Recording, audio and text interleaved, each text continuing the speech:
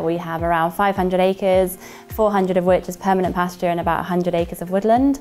Mum and dad farmed together for about 35 years and ran a fairly conventional system with beef and sheep, but always did have an eye on the environmental side. So planted thousands of trees, many miles of hedgerow, and then back in uh, so 2016 time, uh, my dad sadly became quite poorly, so mum took the really tough decision to sell all the livestock and much of the handling equipment, and all of the grazing then went out on annual grazing licenses. But that's sort of how the farm was managed until around sort of 2020.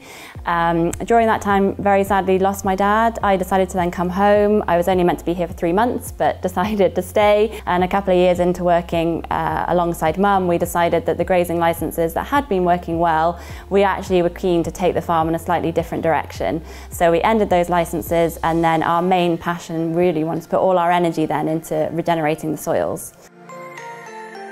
A big part of that transition was doing some training in holistic management. We bought a small herd of pedigree Aberdeen Angus.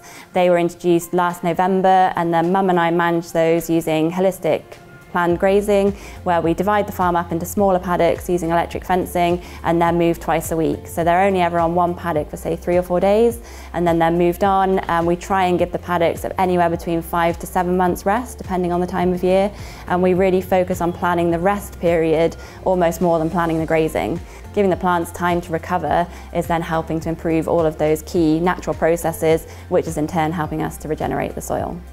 We're part of the DEFRA Test and Trials programme, which is feeding into the future environmental land management schemes. A few years ago, I was in, involved with another water quality project, and that's actually when I met Tom McNamara, who founded the company FreeUp, and they build uh, low-cost, real-time water sensors that monitor the turbidity, colour and temperature of the water. So we've got 21 units overall, um, and that's spread across the catchment. These are pieces of hardware in the river, all self-cleaning and sending the data in real time to a dashboard. We then have farmer meetings where we discuss the data. It's really important we engage with farmers to get these sensors in a format where it works for them.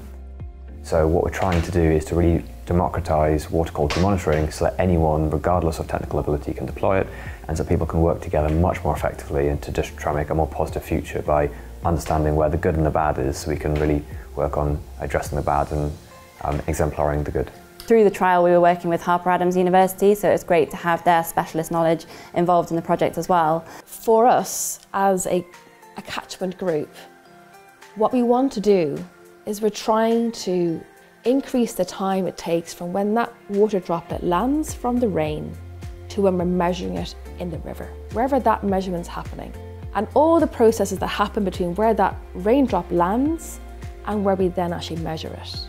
It's interesting because as a, a country, I suppose, we have focused on the downstream. There's lots of monitoring stations towards the sea. We know what the quality is like coming out of these big catchments. Headwaters were often ignored, really. In the last 15, 20 years, we've been getting better at trying to sense these upstream areas trying to kind of capture those small declines because cumulatively they have this big impact. One mil of rainfall times one metre squared of land equals one litre of water. So last year we had about 732 mil of rainfall. We've got 1,029 hectares in the project. So if my maths is right, every year the farms in the project have the potential to hold on to seven and a half billion litres of water which is phenomenal. And imagine if all that water is hitting our land, running off straight into the watercourses, no wonder we're seeing the effects of flooding and the kind of damage it's causing with water erosion. I think when we talk about water quality, it's a lot of doom and gloom. Um, so to actually have people passionate about improving it and coming together and being willing to work together and collaborate on it is huge. And I think having that come from the bottom up is so important.